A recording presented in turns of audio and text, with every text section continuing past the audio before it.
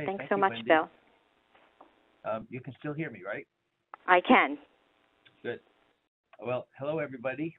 Uh, I apologize in advance. I seem to have a little frog in my throat this morning, so if I sound hoarse, um, it's just that. Um, I'm going to uh, have sort of an informal uh, presentation with you today, and the uh, what I'd like to do and like you to walk away with is an understanding of when you have to make a presentation or write a paper or perhaps write a book, and you have some data that you'd like to display in some sort. Uh, uh, you're going to probably want to make some kind of graph. And most people who aren't familiar with this topic in, in any depth, they, they know how to make two or three or four kinds of graph from Excel or something. So they make those and they're impressed with their own graph because it's pretty and it has pretty colors in it. And they think, wow, I've really done a good job. Well, what I hope to do today is to uh, really expand your mindset about that and show you what kinds of things you should be doing uh, with your graphs.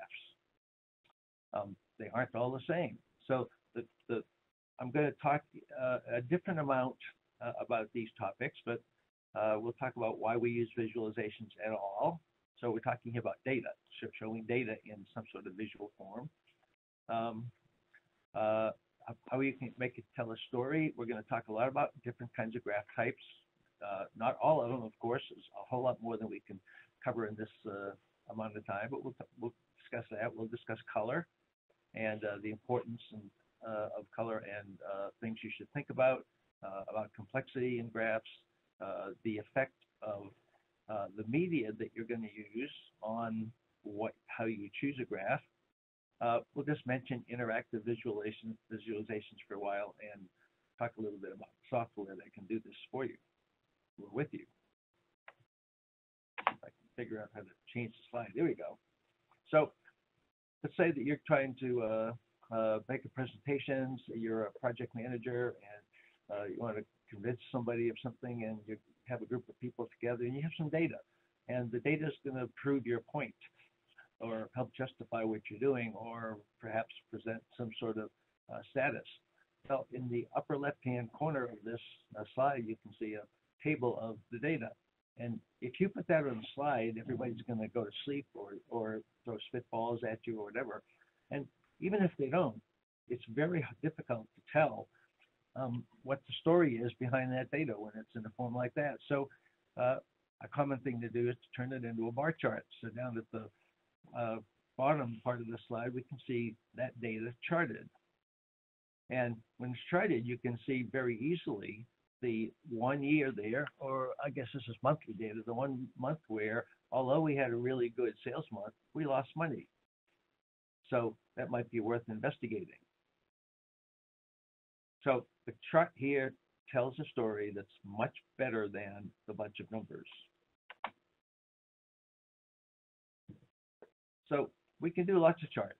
Uh, that frog in my throat seems to have jumped onto the slide. Uh, at least some of them have. But uh, if you read USA Today or papers like that, um, you'll frequently see cutesy little charts here. Uh, the, the, one in the upper left here is trying to show uh, how many frogs they counted in this pond uh, in May and December. And, and they're showing it by the size of the frog. So they're just showing a single image, and the size of the image is related to how many frogs they found. And that's okay for, for an approximate display. Um, a better one is the one on the right, where we use each frog to represent uh, a certain number. And so now we can tell more. We can tell that there are three times as many frogs in September as there were in May. Um, it's still hard to tell uh, with any precision what they mean. So the first bar graph on the lower left here uh, uh, shows exactly how many frogs there were. So now we know there were about 11 in May and 38 or so in September. So that's much better. Um, but we want to, uh, we have a nefarious purpose in making our uh, presentation here. We want people to think that frogs really increased because we spent a bunch of money to get the frogs to increase, and we want people to, to think that we were successful. So the, the middle bar chart here is the same as the left-hand one, but if you notice, the bottom is at 10. So we've cut off the bottom of the chart. Uh, and by doing so, we're not lying uh, because the top of the bar is still means the same thing. It still says we have 12 uh, in May and 38 or so in September, but people aren't don't tend to look at that. They're going to look at the relative sizes of those charts and say, "Wow, in September we had 10 times as many frogs as we did in May." So they're going to get a, a misleading idea. Uh, any politician who produces data and shows it to the world, um, unless they are scrupulously honest, does stuff like this to uh, to not technically lie, but to give you an impression that meets with the uh, story that they want to tell. And that's a very unethical thing to do, but it's done all the time by newspapers, magazines, and especially politicians. However, if we're talking about uh, statisticians, it's just the opposite. A good ethical statistician wants you to know a lot. So the final bar chart here uh, has has the, the the origin at zero again, and it looks like the first one, but you can see there are little lines up at the top of both of them, and those are called uh, uh, confidence intervals. So we didn't go out to the pond and take a great big uh, net and scoop every frog out of the pond and count them and then throw them back, or maybe eat them if you like frogs.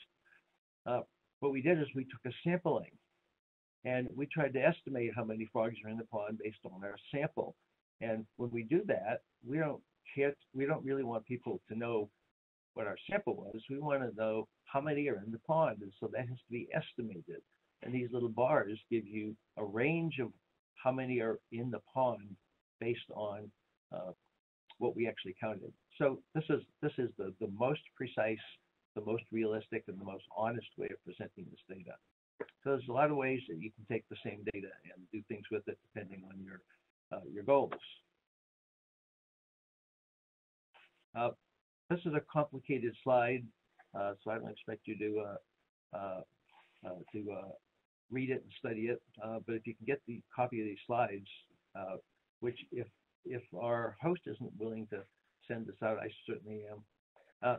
this this is a guide for what kind of chart you could you should use uh, based on what you're trying to show. So in the center, it says, what do you want to show? And there are four options. I want to show, I want to compare things at the top. At the bottom, I want to show the composition of things, right? How many of what kind of stuff uh, we have. On the left, I want to show relationships between things, right? Does thing one cause thing two, that sort of thing. And on the right, I want to show distributions of things. Uh, how many people of each age do we have in our in our company, say? So based on what the, the, the that high level description of what you're trying to do, it points you to a number of charts that are appropriate for that. You can, as you can see, in some cases, this breaks down into a tree. So if you look at the comparison one, if we want to compare among items, and I only have two of them, the best chart to use is the one on the far left. Hi there, I hope you enjoyed that last clip. My name is Michael Milutis, and if you'd like to watch the full 60 minutes of that last webcast, while also gaining complete unlimited access to our entire library of IT learning, simply visit our subscribe page at greatpro.org slash subscribe. Unlimited annual access is $199 per year, but if you use the coupon code LEARN to earn, you can drop that membership fee to just $149. That's less than $13 per month for unlimited access to over a thousand hours of on-demand career development, covering the entire spectrum of IT management best practices, including business analysis and requirements, software development, quality and testing, risk management, process improvement, project management, and even digital transformation. But your membership doesn't just give you unlimited access to our vast learning library. You also get free access to our mobile app as well as direct access to our network of over 300 of the world's leading IT consultants, all of whom are dedicated to putting practical knowledge at your fingertips so that you can learn more and earn more. I hope you will join me in becoming a member of the Great IT Professional and advancing your career with us. And if you're on YouTube, don't forget to hit that subscribe button above so that you get notified whenever we publish new free webcasts each week of the year. Thank you for your time and best wishes for your continued success.